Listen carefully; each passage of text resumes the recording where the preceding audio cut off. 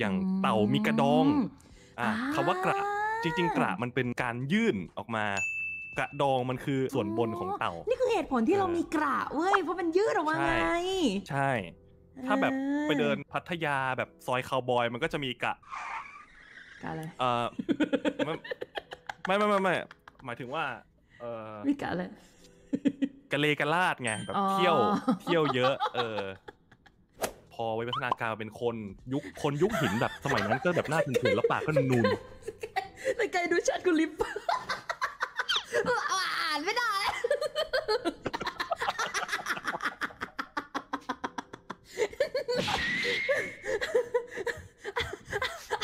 เอ้ยเออแต่ไกลไอ้นั่นมันก็ยืดออกมาเหมือนกันนี่